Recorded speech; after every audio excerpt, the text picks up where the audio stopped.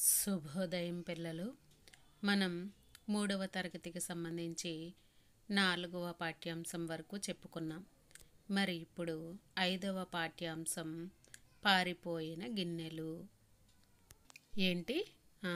పారిపోయిన గిన్నెలు. అంటే ఈ పాఠ్యాంశం ఏంటో మరి ఇప్పుడు చదివి వినిపిస్తాను. శ్రద్ధగా వినండి పిల్లలు. సరేనా? ముందుగా ఈ పేరా చదివి వినిపిస్తాను. శ్రద్ధగా వినండి పిల్లల పిల్లలు. విజయనగర రాజ్యంలో వరహాలయ్య అనే వ్యాపారి ఉండేవాడు. ప్రజలు తమ అవసరాల కోసం అతని దగ్గర అప్పు తీసుకునేవారు.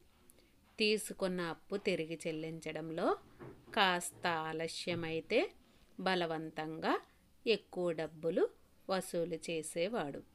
మరో ఆధారం లేక ఇబ్బంది కలిగినప్పటికీ ప్రజలు అతన్నే ఆశ్రయించేవారు. ఈ విషయం రాయలవారి ఆస్థానంలో ఉన్న తెనాలి రామకృష్ణుడికి తెలిసింది. ఎలాగైనా వరహాలయ్యకు బుద్ధి చెప్పాలనుకున్నాడు. చూడండి విజయనగర రాజ్యంలో ఏ రాజ్యంలో? విజయనగర రాజ్యంలో వరహాలయ్య అనే ఒక వ్యాపారి అంటే వర్తకుడు ఉండేవాడు. ప్రజలేమో తమ అవసరాల కోసము అతని దగ్గర అప్పులు తీసుకునేవారు. పేదవాళ్ళు ఉంటారు కదా పేదవాళ్ళు వాళ్ళకి అవసరానికి డబ్బులు లేక ఈ వరహాలయ్య దగ్గర డబ్బులు అప్పుగా తీసుకునేవారనమాట అయితే తీసుకున్న అప్పు తిరిగి చెల్లించడంలో కాస్త ఆలస్యమైతే వాళ్ళు తీసుకున్న డబ్బులు తిరిగి ఇవ్వడంలో తిరిగి వరహాలయ్యకి ఇవ్వడంలో కాస్త ఆలస్యం అయిందంటే ఈ వరహాలయ్య ఏం చేసేవాడు?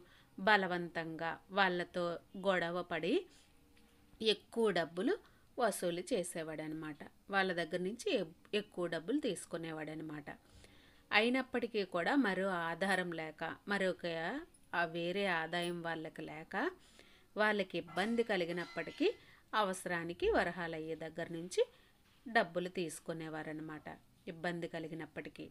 అలా ప్రజలు అతన్నే ఆశ్రయించేవారు. అతని దగ్గరే డబ్బులు తీసుకునేవారనమాట ఈ విషయం ఎవరికి తెలిసింది?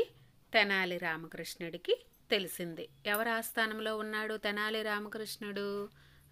రాయల వారి ఆస్థానంలో ఉన్న రామకృష్ణుడికి ఈ విషయం తెలిసింది. ఎక్కువ డబ్బులు ప్రజల దగ్గర నుంచి వసూలు చేస్తున్నాడు ఈ వరహాలయ్య అని తెలిసి తెలుసుకొని వరహాలయ్యకు ఎలాగైనా బుద్ధి చెప్పాలి. అనుకున్నాడనమాట. ఒకరోజు రామకృష్ణుడు వరహాలయ్య దగ్గరికి వెళ్ళి మా ఇంట్లో రేపు విందు జరుగుతుంది. అన్నం వండడానికి ఒక పెద్ద గిన్నె కావాలి అని అడిగాడు. అందుకు వరహాలయ్య రెండు బంగారు నాణేలు ఇస్తేనే అరువుగా గిన్నె ఇస్తాను అన్నాడు. రామకృష్ణుడు సరేనని ముందుగానే రెండు బంగారు నాణేలు చెల్లించి గిన్నెను తీసుకువెళ్ళాడు ఏంటి? ఒకరోజేమో వరహాలయ్య దగ్గరకు రామకృష్ణుడు వెళ్ళి మా ఇంట్లో రేపు విందు జరుగుతుంది. విందు అంటే భోజనాలు. ఏ? ఫంక్షన్ అనమాట భోజనాలు ఏర్పాటు చేస్తున్నాము. అందరి ఒక దగ్గర కలిసి కూర్చొని తినడం అనమాట విందు అంటే. ఏ? ఇలా అందరూ ఒక తిన్న ఒకే దగ్గర భోజనాలు ఏర్పాటు చేయడము అంటే అన్నం వండడానికి పెద్ద గిన్నె కావాలి కదా. అలా ఒక పెద్ద గిన్నె కావాలి అని చెప్పేసి వరహాలయ్యను అడిగాడట. అందుకు వరహాలయ్య ఏం చెప్పాడో తెలుసా? రెండు బంగారు నాణేలు ఇస్తేనే నీకు గిన్నెలు అరువుగా ఇస్తాను అని అన్నాడు. ఏం కావాలి? రెండు బంగారు నాణేలు అని చెప్పి అడిగాడు. దానికి రామకృష్ణుడు సరేనని ముందుగానే రెండు బంగారు నాణేలు చెల్లించి గిన్నెలనేమోంచి తీసుకొని వెళ్ళాడంట. రెండు రోజుల తర్వాత రామకృష్ణుడు తాను తీసుకువెళ్ళిన గిన్నెలతో పాటుగా మరో గిన్నెను కూడా వరహాలయ్యకు ఇచ్చాడు. నువ్వు ఇచ్చిన గిన్నెకు నిన్న రాత్రి ఈ గిన్నె పుట్టింది అని చెప్పాడు. రామకృష్ణుడు ఎంత అమాయకుడా వరహాలయ్య సంబరపడిపోయాడు. అతను ఎటువంటి వాడైతేనే నాకు మాత్రం భలే లాభం అనుకున్నాడు. వారం రోజుల తర్వాత రామకృష్ణుడు తిరిగి వరహాలయ్య దగ్గరకు వెళ్ళాడు. రేపు మా అమ్మగారి పేరు మీద అన్నదానం చేయాలనుకుంటున్నాం అని చెప్పాడు. ఏంటి? ఆ, రెండు రోజుల తర్వాత ఏమో రామకృష్ణుడు తీసుకువెళ్ళిన గిన్నెలన్నీ ఉన్నాయి కదా ఆ గిన్నెలతో పాటుగా మరొక గిన్నెను ఎక్స్ట్రాగా ఇచ్చాడట. ఎవరికి? వరహాలయ్యకి ఇచ్చాడు. ఎందుకు ఇచ్చాడట?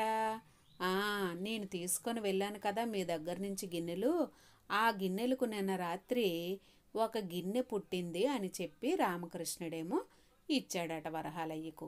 గిన్నెలకు ఎక్కడైనా గిన్నె పుడుతుందా? పుట్టదు కదా.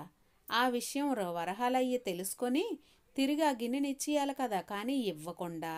"ఆ, నాకే లాభం కలుగుతుంది కదా అతను ఎలాంటి వాడైతే నాకేమి అతని అమాయకుడైతే నాకే అమాయకుడు కాకపోతే నాకేమి నాకు లాభం కలుగుతుందా అని కదా అనేసి ఆ రామకృష్ణుడు ఇచ్చిన గిన్నెని కూడా తీసుకొని దాచేసుకున్నాడట.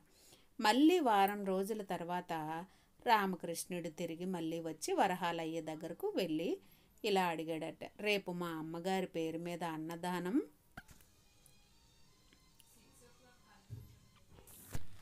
అన్నదానం చేయాలనుకుంటున్నాను. నాకు కొన్ని గిన్నెలు కావాలి.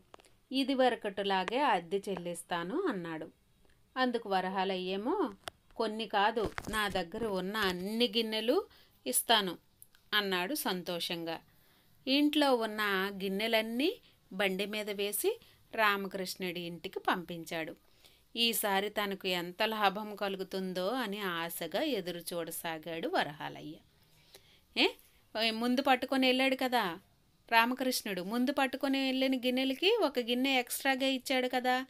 ఇప్పుడు అన్ని గిన్నెలు ఇచ్చేస్తాను.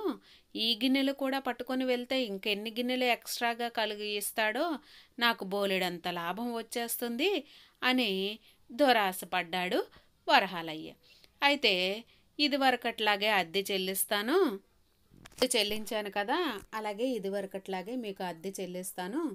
అందుకు గాని కొన్ని గిన్నెలు కావాలి అని చెప్పేసి రామకృష్ణుడు అడగగానే ముందు లాభం వచ్చింది కదా ఇప్పుడు కూడా బోలెడంత లాభం వస్తుందని చెప్పేసి కొన్ని గిన్నెలు కాదు నా దగ్గర ఎన్ని గిన్నెలు ఉంటే అన్ని గిన్నెలు కూడా నీకు ఇస్తాను అని చెప్పేసి సంతోషంతో తన ఇంట్లో ఉన్న గిన్నెలన్నింటినీ కూడా రామకృష్ణుడు బండి మీద వేసి వ తీసుకొని వెళ్ళాడనమాట. రామకృష్ణుడి ఇంటికి వరహాలయ్య పంపించాడు. ఈసారి తనకు ఎంత లాభం వస్తుందో అని సంతోషంతో ఎదురు చూడసాగాడనమాట.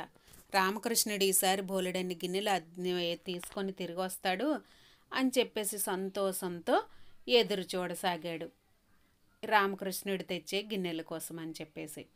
ఏ? పిల్లలు మిగతా పాఠ్యాంశాన్ని తరువాత చెప్పుకుందాము. ఇప్పటి వరకు మనం చెప్పుకున్న పాఠ్యాంశం అంతా కూడా శ్రద్ధగా చదవండి. సరేనా? ధన్యవాదములు పిల్లలు.